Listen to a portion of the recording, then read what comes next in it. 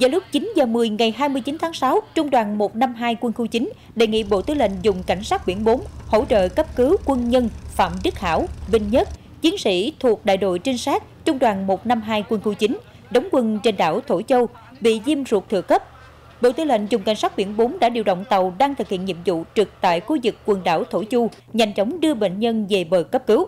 Đến 14 giờ 30 cùng ngày, tàu cảnh sát biển 2001 đã cập cảng hải đội 401 tại thành phố Phú Quốc, tỉnh Kiên Giang. Ngay sau đó, Bộ Tư lệnh dùng cảnh sát biển 4 đã đưa bệnh nhân lên bệnh viện đa khoa thành phố Phú Quốc để tiếp tục cứu chữa.